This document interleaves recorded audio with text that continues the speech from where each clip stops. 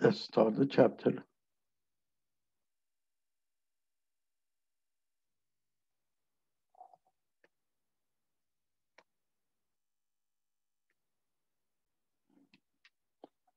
Okay, in this chapter, chapter 9, we'll talk about evaluation and evaluation of competitive market. Earlier we spoke about competitive market, what's the competitive market about it. And now we will be evaluating the competitive market. During this chapter, we will uh, explain how perfectly competitive market encourages the technological improvement and the growth of the size of firm. We also will explain the benefits of perfect competitive markets and ex examine the five reasons perfect competition might fail to achieve the desirable results. Furthermore, we will describe how the government tried to deal with the external costs, such as pollution, explain how government tried to encourage production of a good and service such as education that carry external benefit. We, we heard of laissez-faire, which is the economic doctrine that holds that an economy works best with the minimum amount of government in intervention. Best example uh, closest to this is USA. Now, the planned growth and the, its effect on the market. If there is, if there are economies of scale, a firm will want to increase the size of lower to lower the cost we know in uh, that there is a fixed cost and there is a variable cost. And the more they produce, the, cost, the fixed cost per unit, it will go lower. So when the fixed cost per unit goes lower, that means the variable, uh, the total uh, cost per unit goes lower. So the the economies of scale says that a firm wants to increase it in size to lower the cost. And if you see here that uh, if a price stays the same, the profit improved. And in the long run, all the firms increase in size, price drop, and every firm earns a normal profit. So, you know, when the products increases, the prices goes lower so everybody earns a normal profit. And if you notice here in the plant one, they are producing at the P1, which is marginal cost and average cost. And if you add them together or there is a more company produce more, so they can produce as a lower cost. So the price in a long-term, uh, long-run equilibrium, the average cost one to the average cost six represent the short-run average cost different size of plant. So the plant starts producing 100, it starts here. And then start producing 200, and then producing 300, which is that's where the long uh, average cost and marginal cost is together. So in the long term, firm will choose the planet three to minimize the uh, minimize the cost. So basically, the price equal with the minimum average cost, which is here, is equal with the minimum long-term, long-run average cost, which is equal with the marginal cost. And that's the quantities produced at this price. so exactly why should a firm downsize if it is suffering from diseconomies of scales? A firm suffering diseconomies of scale is operating at a scale too large for this type of industry it is therefore experiencing high average costs due to the high bureaucratic costs associated with a big corp corporation. It could produce at a lower average cost if it could reduce its size. The benefit of perfect competition. There is a few benefits. One of the benefits is called productive efficiencies. Production of an output at a, the lowest possible average, which is we saw it in the previous graph. Uh, that is where the price equal the, with the minimum average cost.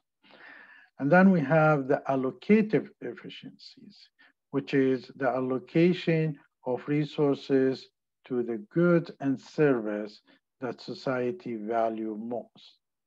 So they might be companies producing something, but the society value it less than if they produce something else. And this occurs where is the price equal with the marginal cost.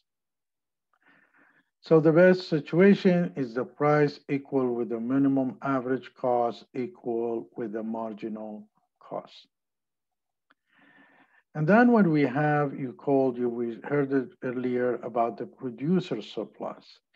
The difference between the amount that a producer would be willing to accept for each unit of output and the price they receive when the output is sold.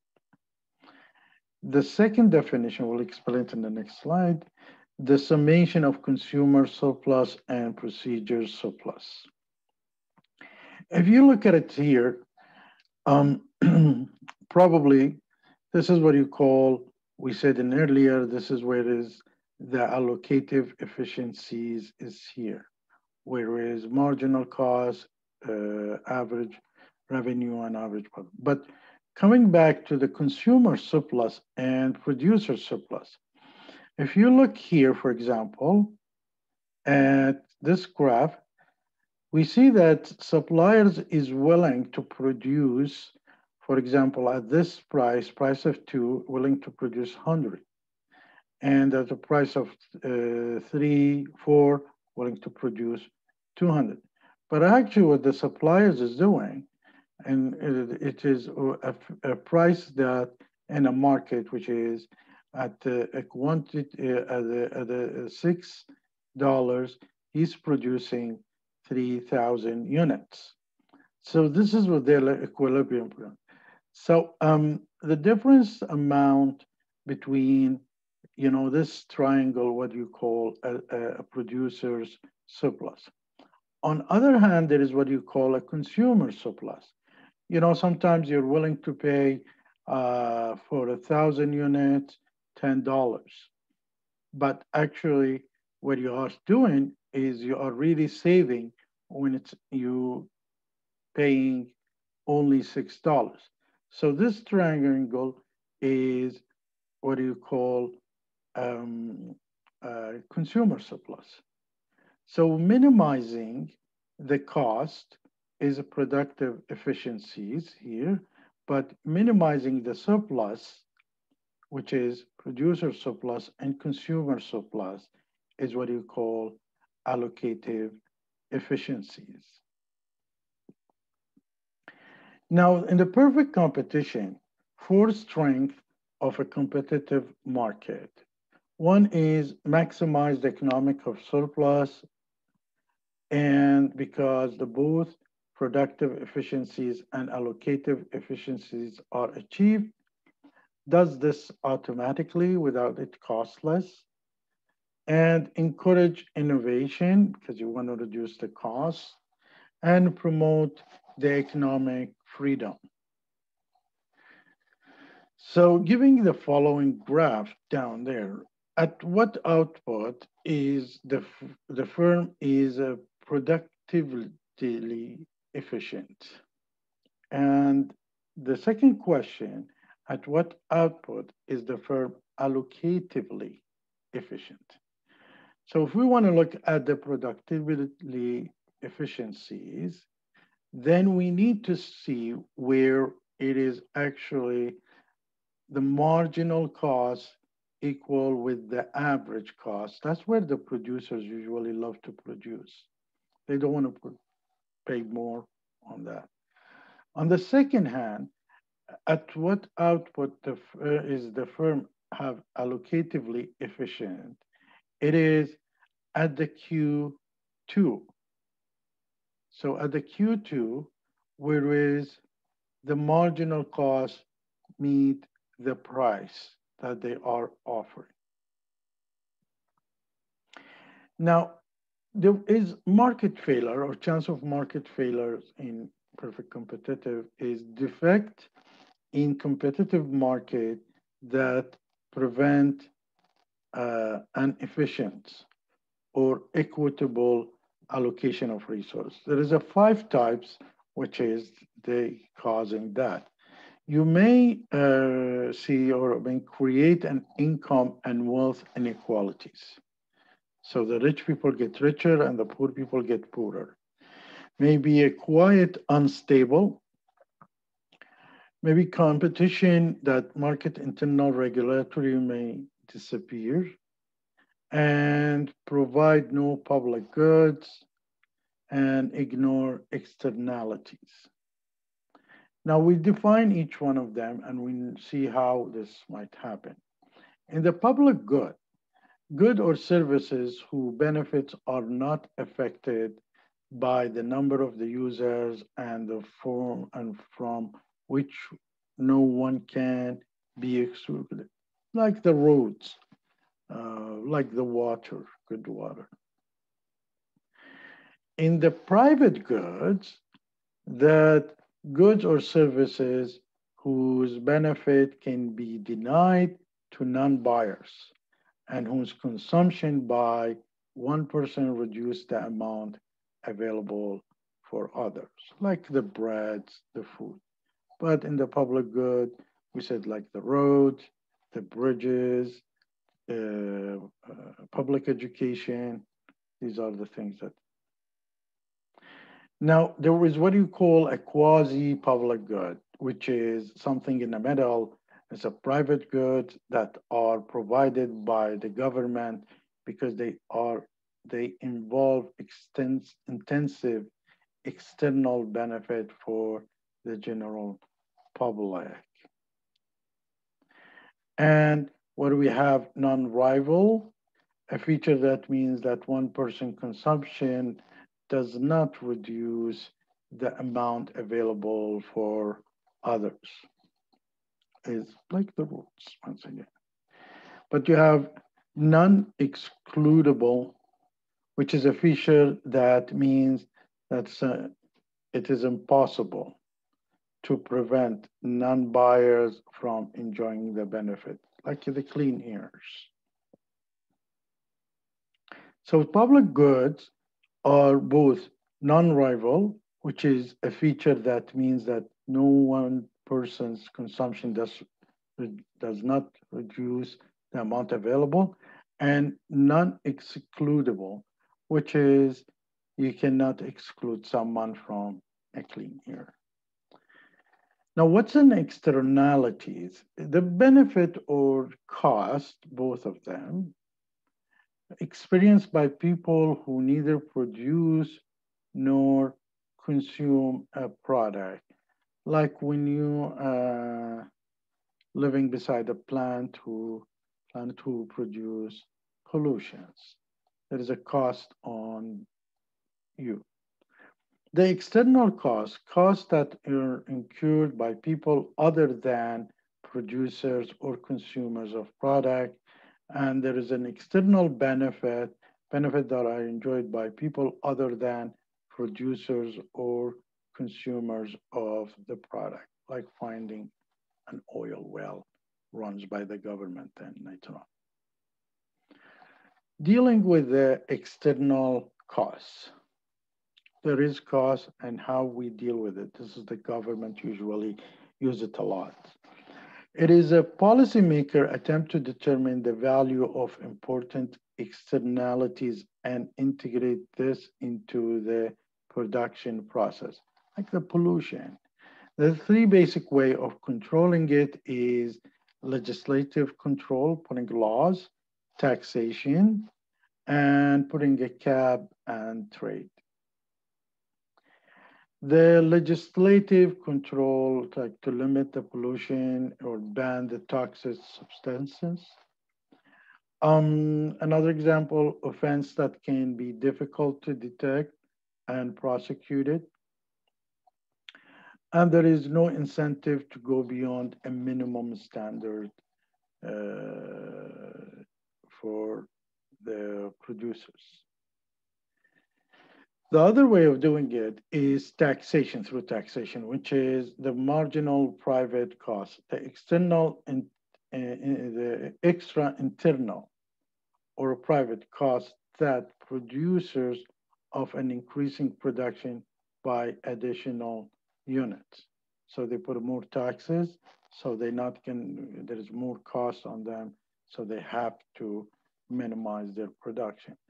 The marginal uh, social cost, which is the additional cost to the both producers, internal cost, and the society, external cost of producing additional quantity of a product, like uh, having an extra bottle of plastic water. This is what you call cap and trade. This is what you attempt to minimize the cost of reaching a predefined pollution emission target, a cap. And it's going on now. People are talking about it between the European Union, uh, USA, and Canada. Individual pollution companies are allocated or allocated shares on the total cap called credit. So they have certain percentage of pollutions and they get a credit for it. It's like a credit and debit is done this way. Other company may, may create a new credit by eliminating the pollution. So they're planting trees, for example. If a producer wishes to pollute more, it can trade by through can buy unused credit from other firms or buy credit from the that have created them. Now, integrating external benefit. There is two basic way, a provision of a quasi public good like uh, education, healthcare, transportation. What is provided varies widely across the country. Some countries, some places that they don't give enough taxes, they have access to good product uh, education, and some of them they do and also have access to education. Providing subsidies like a daycare, this is another way uh, of integrating external benefits. Subsidies. The marginal private benefit, the extra benefit that the buyer derives from consuming additional quantities of a product. So if the food is subsidized, means partially paid by the government. So there is a marginal private benefit the marginal social benefit, the extra benefit to both the consumer and the society of additional quantity that produce, like the education.